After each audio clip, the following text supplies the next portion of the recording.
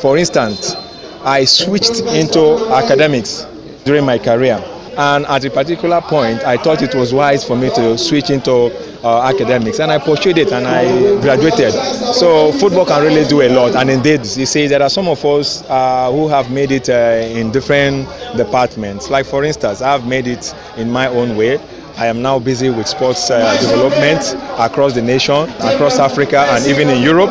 And I have my other colleagues who are coaches, sports commentators, doctors, a lot of them. So I believe uh, seeing us out here today will also motivate, inspire them, being like one of us, and even much better looking at uh, the Super Eagles now, your assessment of 2016, we had issues earlier in the year, but when, when we had relative peace, the team started doing better. How can we make this a foundation for a successful 2017? All I can do is to give my own space of support.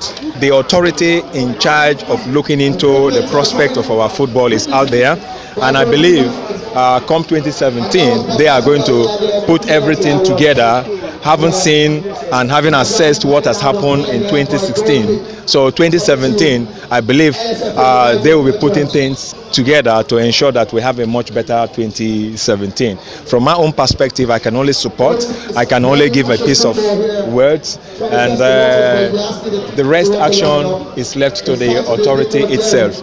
And our support is also necessary and important to the uh, football house and I'm ready to give my support uh, to any extent as long as uh, I'm called upon anytime, any day, anywhere. Okay. The Nations Cup kickstarts in January. Uh, which team are you tipping to win the championship? My way of uh, assessing a team will be based only when I have seen all the first teams that will line up in the preliminary stage. From the preliminary stage, I can now tell you. So when I speak, you know, I'm not just you know blabbing. I have my reasons for taking a particular nation to be the champion of the Nations Cup. The issue of um, goalkeeper, uh, goalkeeper in Nigeria, we still don't have a number one goalkeeper. Uh, what's your concern to that? What's your reaction to that? Um, I think uh, in terms of goalkeepers, we have them abound, but um, we need uh, to see more of these goalkeepers. We need to see more of them, and I believe so far come 2017, I believe we'll be seeing uh, more goalkeepers. Do you think Enyeama should come back? Um, the question of Enyeama coming back lies strictly with Enyeama. You know, we all Enyeama's fans can say our peace of mind, but the main uh, person to speak it's Enyeama himself. Because if Enyeama comes, it is another journey of ladder when I mean another journey of climbing that ladder again to keep that record to maintain consistency. And maintaining consistency i'll tell you it's not an easy job uh, easy job. You know it's just like on top of your game at every match you play. So it depends. It's a question to yama. Is he ready to be playing at that peak?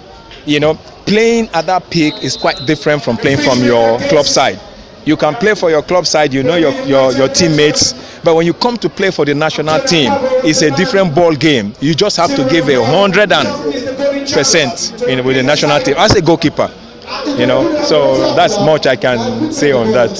Um, with ian acho we are we are good track but don't forget too we still have other uh, strikers. So it's just a question of we seeing them in action. Once we're able to see them in action we have them playing out there in europe in other parts of the world within the country as well. We have good strikers you know.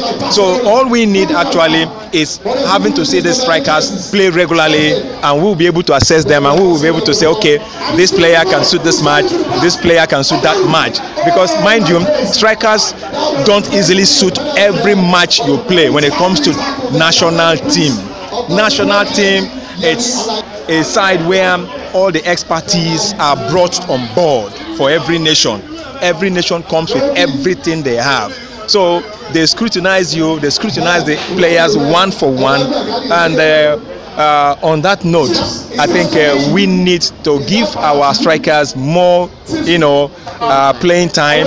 We need to invite them. We need to engage them so that we can see them, so that we can assess them. We have a lot of analysts in this country, so they can now see this team, these players, analyze them properly, and then assess where they can suit better for.